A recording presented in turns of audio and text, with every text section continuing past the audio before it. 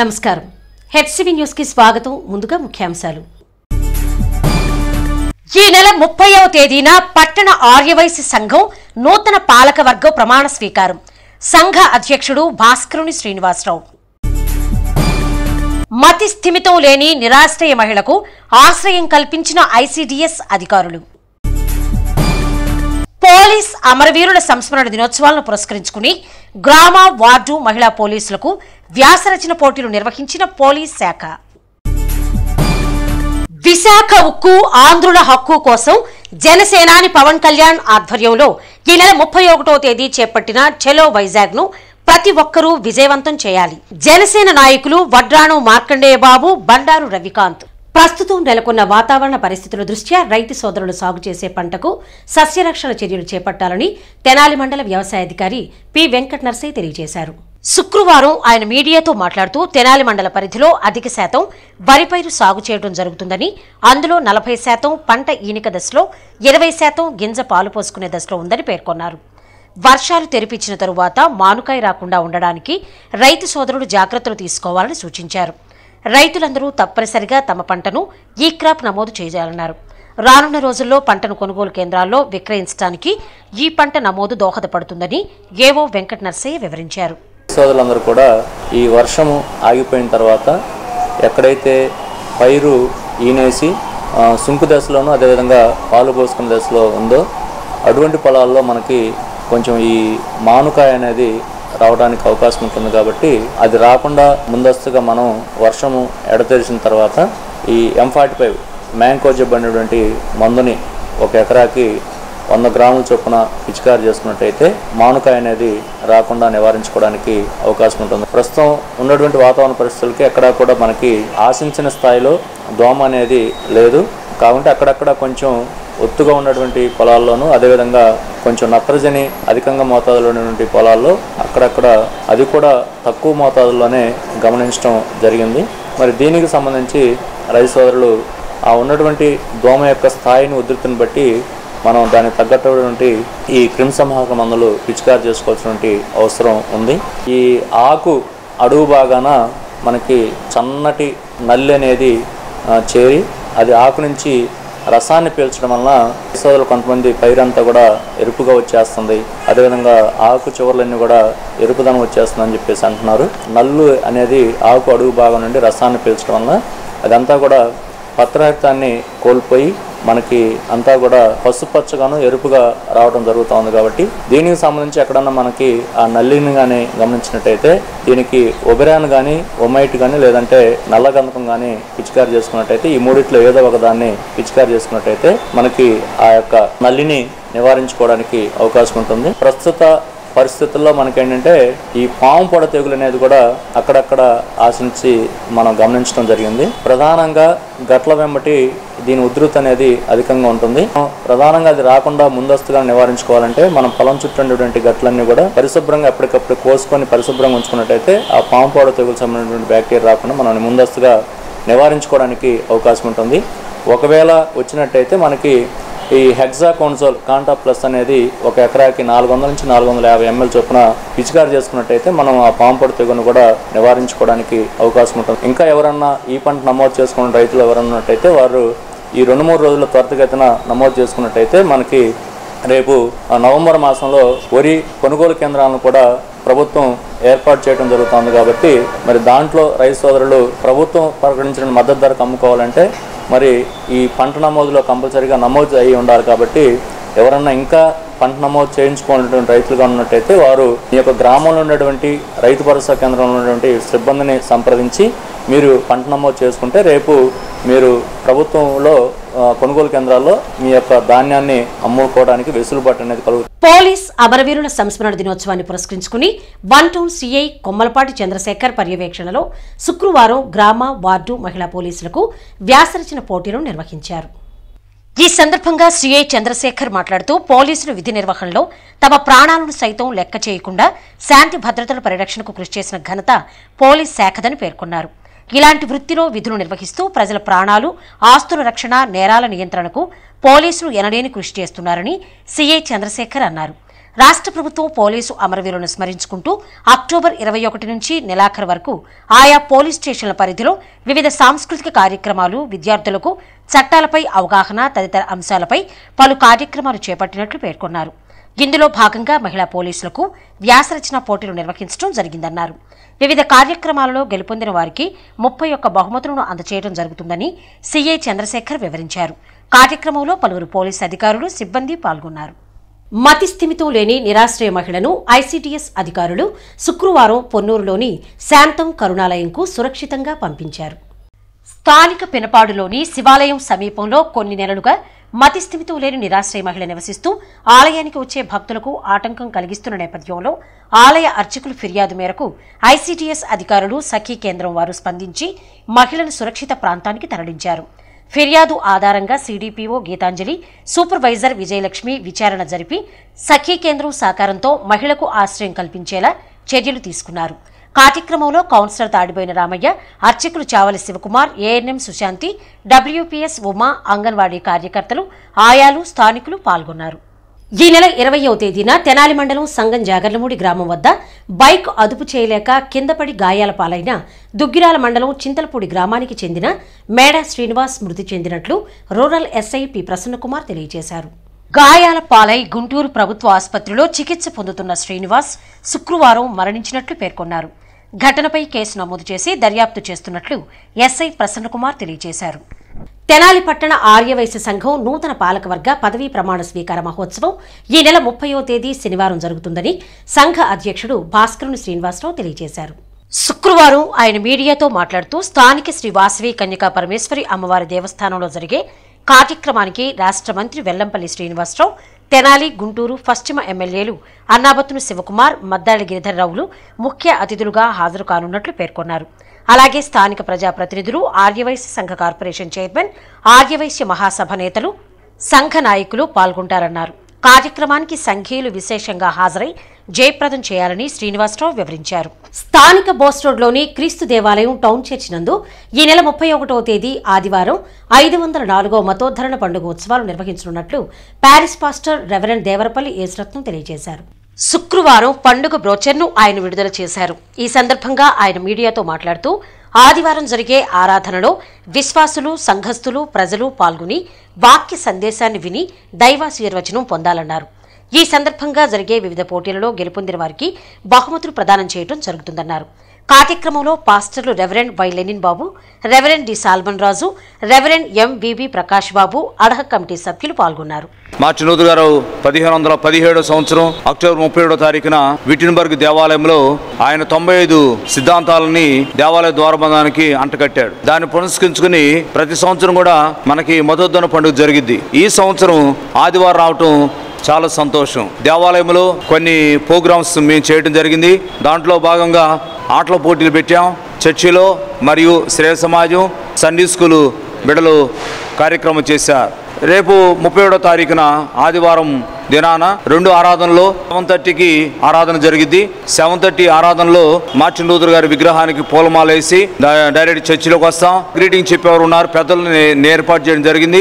ఎవరైతే ఆరాధనలో సెకండ్ ఆరాధనలో పాల్గొంటున్నారో వారందరూ కూడా తొమ్మిదిన్నరకు జరిగే ఆరాధనలో మరి ప్రైజెస్ డిస్ట్రిబ్యూషన్ జరుగుతుంది.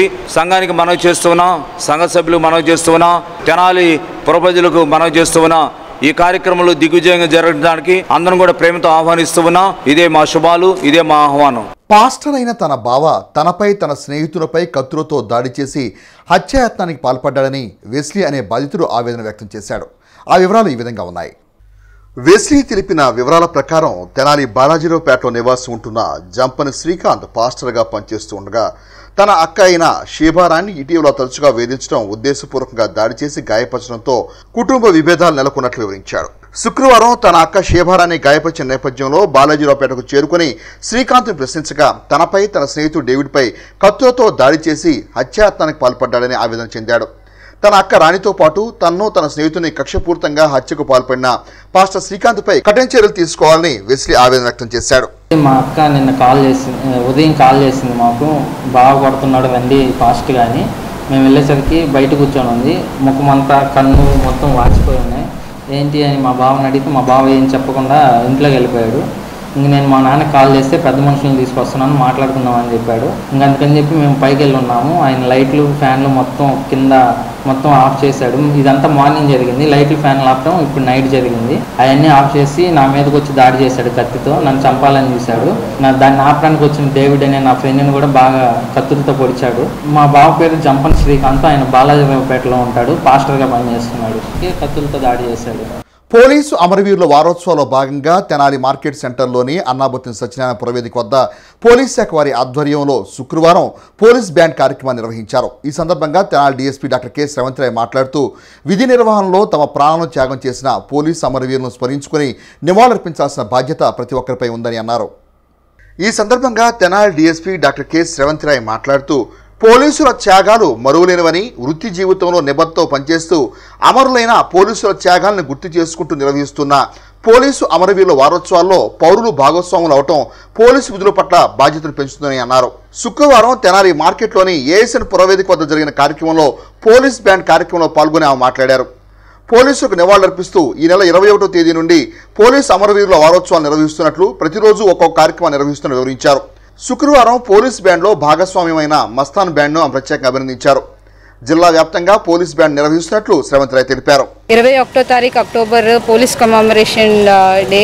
దానికి సందర్భంగా ఈ one week celebrations police commemoration day celebrations చేస్తున్నాం. అందులో భాగంగా గుంటూరు రూరల్ పోలీస్ వారి పోలీస్ బ్యాండ్ వచ్చి తెనాలి పురవేదికలోని ఈ స్టేజ్ మీద బ్యాండ్ షో కండక్ట్ చేశారు. దీని బ్యాండ్ మాస్టర్ గారు మస్తాన్ వలీ గారు ఇక్కడ ఈ బ్యాండ్ ట్వంటీ ఫైవ్ ఇయర్స్ నుంచి ప్లే చేస్తున్నారు ఈ బ్యాండ్లో. బ్యాండ్ నిన్న ఇవాళ రేపు ఎల్లుండో కూడాను మన గుంటూరు జిల్లాలో ఉన్న అన్ని సబ్ డివిజన్స్కి వెళ్ళి కూడా ఇలాగే బ్యాండ్ షో కండక్ట్ చేస్తారు. బ్యాండ్ షో యొక్క ముఖ్య ఉద్దేశం ఏంటంటే మన పోలీస్ అమరవీరులకి నివాళులు అర్పిస్తూ అందరికీ కూడా కొంచెం ఆ, ప్రజల్లోకి తీసుకెళ్ళడానికి ఇట్లా షో కండక్ట్ చేస్తూ ఉంటాము. బ్యాండ్ కూడా చాలా బాగా ప్లే చేస్తున్నారు. అందరికీ కూడాను thanks for coming to Tenali.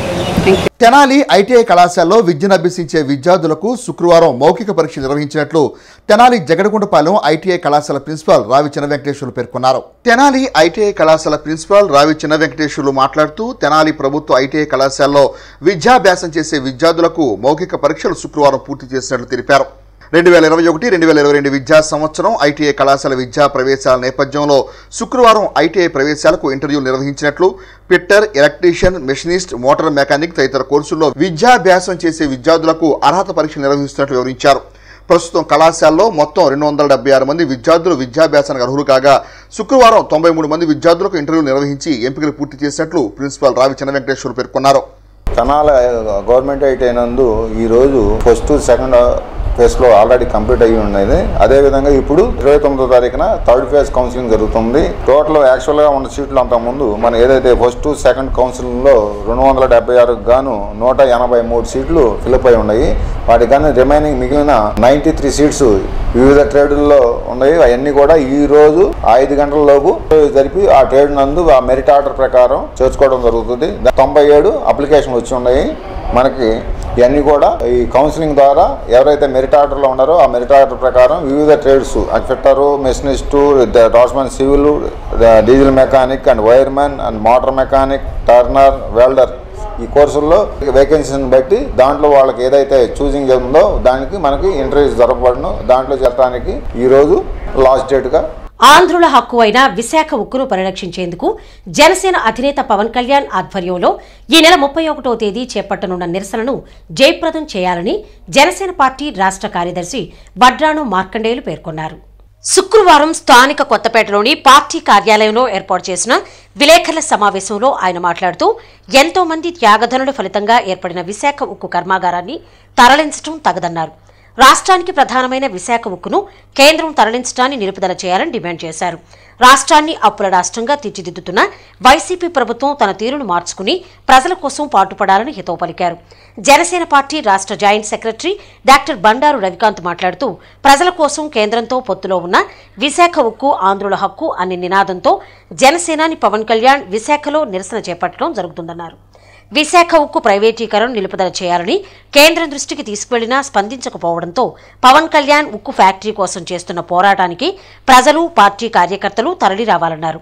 Party నాయకులు తోటకూర వెంకటరమణారావు షేక్ ఇస్మాయిల్ మాట్లాడుతూ ఛలో వైజాగ్ కార్యక్రమాన్ని ప్రతి ఒక్కరూ విజయవంతం చేసి విశాఖ ఉక్కును కాపాడాలన్నారు. గతంలో మాజీ స్పీకర్ నాదెండ్ల మనోహర్ చేసిన అభివృద్ధి పనుల కారణంగానే నేడు తెనాల నియోజకవర్గంలో ఆ ఫలాలు అందుతున్నాయన్నారు. ప్రజల కోసం ప్రజల సంక్షేమం అభివృద్ధి కోసం పాలకులు పాటుపడాలే తప్ప విమర్శలకు కాదన్నారు. సమావేశంలో చక్రాయపాలెం ఎంపీటీసీ సభ్యులు అమ్మిశెట్టి హరికృష్ణ జనసేన పార్టీ జిల్లా నాయకులు గుంటూరు కృష్ణమోహన్ పెరికెల రాంబాబు చెదలవాడ వేణు లీగల్ సెల్ జిల్లా ప్రధాన కార్యదర్శి దంతాల కిరణ్ కుమార్ పార్టీ నాయకులు Divyala Madhubabu Erru Venkayya Naidu K. Srikanth Yarlagadda Ravikumar Sitaramaraju Tinnaluru Seshagiri D. Venkata Basavayya K. Satyanarayana పలువురు జన సైనికులు పాల్గొన్నారు. విశాఖ ఉక్కు ఆంధ్రుల హక్కు అనేటువంటి నినాదంతో గతంలో ఎంతోమంది నాయకుల త్యాగ ఫలితం ఈ విశాఖ ఉక్కు పరిశ్రమ. ఈ పరిశ్రమ ఈ రాష్ట్రంలో తలమానికంగా ఉన్నటువంటి పరిస్థితి. రాష్ట్రానికి పరిశ్రమలు రాకపోగా ఉన్న పరిస్థితులే దిగజారిపోయి అస్తవ్యస్త పరిస్థితుల్లో ఉన్న ఈ టైంలో మరి కేంద్ర ప్రభుత్వం తీసుకున్నటువంటి ఈ నిర్ణయాన్ని మరి బీజేపీ పార్టీతో మాకు పొత్తు ఉన్నా కూడా ప్రజల కోసం వందల కోట్ల రూపాయల ఆదాయాన్ని పరంగా పెట్టి పక్కన పెట్టేసి ప్రజల కోసమే పోరాడుతున్నటువంటి పవన్ కళ్యాణ్ గారు అది ఎవరు ఎలాంటి పరిస్థితి చేసినా క్షమించేది కాదు. రాష్ట్రం నుంచి ఇంకో రాష్ట్రాన్ని తరలించే పరిస్థితికి వ్యతిరేకమని చెప్పి ఆయన యొక్క వాదనని కేంద్ర ప్రభుత్వానికి తెలియజేయాలనే ఉద్దేశంతో ఈ బహిరంగ సభ తెలియజేయడం జరుగుతుంది. ఈ రాష్ట్రాన్ని పూర్తి స్థాయిలో వ్యవసాయ పరిస్థితుల్లో కానీ వ్యవసాయ రంగానికి సంబంధించినటువంటి నీటిపారుదల విషయంలో కానీ ఇరిగేషన్ డెవలప్మెంట్ కార్పొరేషన్ విషయంలో కానీ పూర్తి స్థాయిలో చిన్న మధ్య తరహా పెద్ద తరహా నీటిపారుదల శాఖను మొత్తాన్ని నిర్వీర్యం చేసిన పరిస్థితి. రెండో తారీఖున మా నాయకులు పవన్ కళ్యాణ్ గారి పిలుపు మేరకు నాదెల్ల మనోహర్ గారి ఆధ్వర్యంలో జరిగినటువంటి కార్యక్రమాలు రోడ్డు నిర్మాణాల కార్యక్రమాలు మీ అందరూ తెలిసే ఉన్నాయి. కనీసం దాన్ని చూసైనా ఆ స్ఫూర్తితో రోడ్లు బాగు చేస్తారేమో కొన్ని నిధులన్నా కేటాయిస్తారేమో అని మేము ఆశిస్తూ ఉన్నాం. మరి ప్రతిపక్షం కూర్చుంటే చచ్చిపోయింది తెలుగుదేశం మన రాష్ట్రంలో ప్రధాన ప్రతిపక్షం అనేది జనసేన. అసెంబ్లీలో లేకపోయినా ప్రజల్లో ఉందనేది మేము తెలియజేస్తా ఉన్నాం. విశాఖ హక్కు ఆంధ్రుల హక్కు అనే నినాదం తీసుకొని ఎంతో ఉద్యమం చేస్తే తప్ప ఆ యొక్క ఉక్కు ఫ్యాక్టరీ మనం సాధించుకోలేకపోయాం. మరి ఈ రోజున కొన్ని వేల మంది కార్మికులు అందులో పనిచేస్తున్నారు. అటువంటి ఉక్కు ఫ్యాక్టరీని ప్రైవేట్ పరం చేయడానికి పూనుకున్నటువంటి కేంద్ర ప్రభుత్వ నిర్ణయానికి రాష్ట్ర ప్రభుత్వం తల ఒగ్గి మరి వాళ్ళు కూడా సమ్మతి తెలియజేస్తున్నట్లుగా భావించవలసి వస్తుంది. పైకి మాత్రం మేము దానికి వ్యతిరేకం అని చెప్పి మాట్లాడుతూ ఉన్నారు. ఇరవై రెండు మంది ఎంపీలు ఉన్నారు. మరి రాజ్యసభ సభ్యులు ఉన్నారు. నూట యాభై ఒక్క మంది ఇక్కడ శాసనసభ్యులు ఉన్నారు. చరిత్రలో లేనటువంటి అంత మెజారిటీ సాధించుకోగలిగారు మీరు ప్రజల్లోంచి ఇంత విపత్కర పరిస్థితిలో ఉన్నప్పుడు మీ యొక్క అధికారాన్ని మీరు ఎందుకు వినియోగించరు? కేంద్ర ప్రభుత్వానికి తలవగాల్సిన అవసరం మీకేంటి? విశాఖ ఉక్కు ఆంధ్రుల హక్కు అనే నినాదంతో ఆ రోజు విశాఖ స్టీల్ ప్లాంట్ ప్రైవేటీకరణ దిశగా కేంద్ర ప్రభుత్వం ఆలోచన చేస్తే ఆ ఆలోచనకి మద్దతు పలికింది వైసీపీ పార్టీ. ఎన్ఆర్సీకి టీఏఏకి ఈ బిల్లులకి సెంట్రల్ గవర్నమెంట్ కింద పార్లమెంట్లో మద్దతు తెలుపుతారు వీళ్ళంతా కూడా. ఇక్కడికి వచ్చి రాష్ట్ర ప్రజల తరపున పోరాడుతున్నట్టు ఏదో జనాల్లో ఒక రకమైన క్రియేటివిటీని సృష్టిస్తూ ఉంటారనమాట వైజాగ్ విశాఖ స్టీల్ ప్లాంట్ అనేది వైజాగ్కో లేకపోతే ఒక జిల్లాకో ఒక ప్రాంతానికో సంబంధించింది కాదు. ఇది ఆంధ్రులు అందరిది కూడా. అందులో ఉన్న ఉద్యోగస్తులందరికీ కూడా అండగా నిలబడాలని ఆ రోజు ఏదైతే బీజేపీ ప్రభుత్వం కానీ ఈ స్టేట్ ప్రభుత్వం కానీ వైఎస్ఆర్సీపీ గవర్నమెంట్ కానీ తీసుకున్న నిర్ణయానికి వ్యతిరేకంగా పొత్తులో భాగంగా ఉన్నా కానీ పవన్ కళ్యాణ్ గారు ఎటువంటి భయానికి లోనవ్వకుండా మొట్టమొదటిగా దాన్ని వ్యతిరేకించిన వ్యక్తి శ్రీ కొనిదెల పవన్ కళ్యాణ్ గారు. ఏదైతే విశాఖ ఉక్కు పరిరక్షణ సభ పేరుతో మా నాయకులు పవన్ కళ్యాణ్ గారు పిలుపునిచ్చారు ఆ యొక్క సభను విశాఖపట్నంలో ముప్పై ఒకటో తారీఖున అందరం కలిసి విజయ విజయవంతం చేద్దామని తెలియజేస్తూ ఇక్కడ తెనాలిలో పోయిన ఆదివారం మా నందివెలుగు ఎంపీటీసీగా విజయం సాధించినటువంటి విజయలక్ష్మి గారి ఆధ్వర్యంలో నందివెలుగు వంతెన మీద మేము మా నాయకుడు పవన్ కళ్యాణ్ గారు ఇచ్చిన పిలుపు మేరకు శ్రమదానం చేయడం జరిగింది. ఆ రోడ్డు గుంతలు పడి ఉంటే దాన్ని హేళన చేయడం కానీ అనుకోండి లేదా తక్కువ చేసి మాట్లాడడం కానీ అది అంత మంచిది కాదని తెలియజేస్తున్నాను. హెచ్సివి న్యూస్ యూట్యూబ్లో వీక్షించాలనుకునే ప్రేక్షకులు తెనాలి హెచ్సివి న్యూస్ టైప్ చేసి సబ్స్క్రైబ్ చేసి వీక్షించవచ్చు. హెడ్సివి న్యూస్ ముగించబోయే ముందు ముఖ్యాంశాలు మరోసారి. ఈ నెల ముప్పైవ తేదీన పట్టణ ఆర్యవైశ్య సంఘం నూతన పాలకవర్గం ప్రమాణ స్వీకారం. సంఘ అధ్యక్షుడు భాస్కరుని శ్రీనివాసరావు. మతి స్థిమితం లేని నిరాశ్రయ మహిళకు ఆశ్రయం కల్పించిన ఐసీడీఎస్ అధికారులు. పోలీస్ అమరవీరుల సంస్మరణ దినోత్సవాలను పురస్కరించుకుని గ్రామ వార్డు మహిళా పోలీసులకు వ్యాసరచన పోటీలు నిర్వహించిన పోలీస్ శాఖ. విశాఖ ఉక్కు ఆంధ్రుల హక్కు కోసం జనసేనాని పవన్ కళ్యాణ్ ఆధ్వర్యంలో ఈ నెల ముప్పై ఒకటో తేదీ చేపట్టిన చెలో వైజాగ్ను ప్రతి ఒక్కరూ విజయవంతం చేయాలి. జనసేన నాయకులు వడ్రాణు మార్కండేయ బాబు బండారు రవికాంత్. హెడ్సివి న్యూస్ ఇంతటితో సమాప్తం. నమస్కారం.